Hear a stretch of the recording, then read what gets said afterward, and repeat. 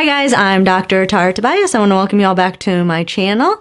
In today's Micro Tip Monday, we're going to go over one particular problem that is a pretty big issue for most people that have hemiplegia or weakness on one side of the body, and that is how to properly stretch the trunk muscles. And this is specifically for those of you when you look in the mirror, one shoulder is dropped. Now, in most cases, the shoulder that is lower is usually the side of the weakness.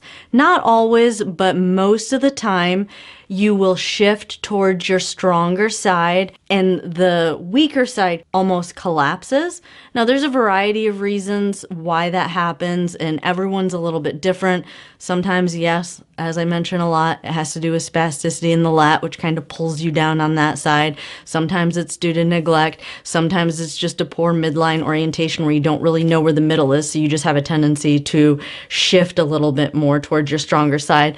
But regardless of what's causing it, one side of your body becomes shortened and really tight. And what it, what really happens is it makes it extremely difficult, even if you wanted to get your body straight when you were walking, it just makes it really hard because all the structures on that side are shortened. So today is going to be just a quick stretch to stretch out that side of your body. I encourage all of you to do this.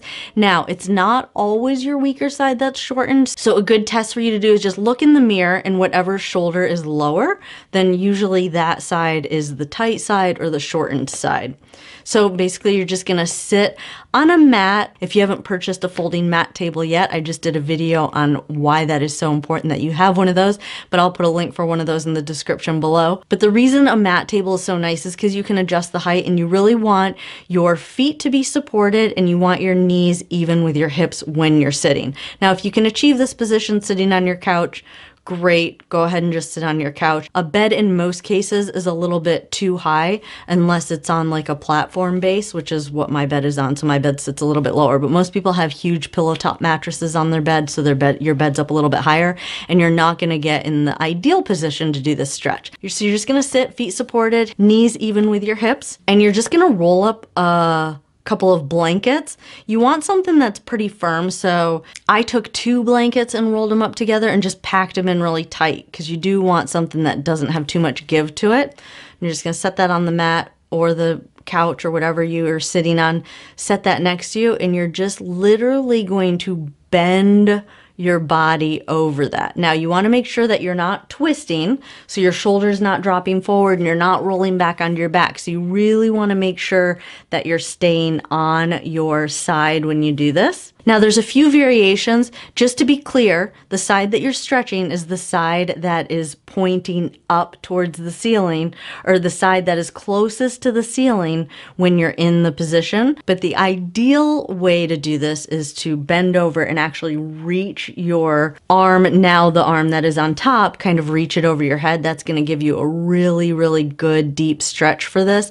If you can't, so if you do have some spasticity and your arm just kind of flexes up, you'll still get a really good stretch out of this if you don't lift your arm up and you're just gonna do the same thing. You're just gonna bend over that arm and you want to hold it, you'll feel that stretch. So initially your muscles may fight you just a little bit. So try and stick with it for about 30 seconds until that muscle really relaxes. Some of your spastic muscles might try and involuntarily contract. And so it might be a little, you might feel a little bit of a pull when you're getting into this position, but I encourage you to just give it 30 seconds. If it's not tolerable or you can't tolerate it after 30 seconds, then it's just probably a little bit too uh, it's too much of an aggressive stretch for you. But yeah, and then you just want to hold it. You just want to open up that side of your body. There's so many benefits to this. You get more air into your lungs. You're stretching all the muscles in between the ribs. Your ribs will expand better on the side, which does help you to draw oxygen into your lungs.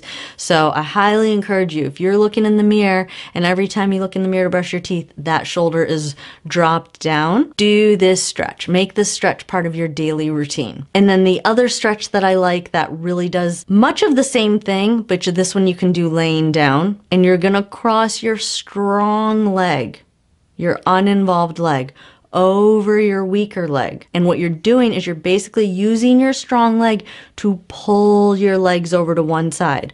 Your strong leg is on top of your weaker leg and you're just pulling them over. That's going to give you a really good deep stretch again in through that side of your trunk, in that that side of your hip, everything on that side just to lengthen that side of your body, which is going to have a huge impact on your standing, your walking, your movement retraining for your hip. The more stretched out you are, the less resistance you're gonna have to doing some of the activities where the muscles are a little bit weaker. So that is it. Just little, just a little quick tip. I hope you all enjoyed that. I hope it was helpful. If you have any suggestions for future micro tip Mondays, go ahead and drop that in the comments below. I would love to answer any of your questions in these short little videos that I've started to do on this micro tip Monday. If you haven't yet subscribed, go ahead and hit that subscribe button. Turn on that notification bell so that you will be the first to be notified every time I upload new videos. I enjoyed spending time with you all today, and I look forward to seeing you all in the next video. You all have a great day.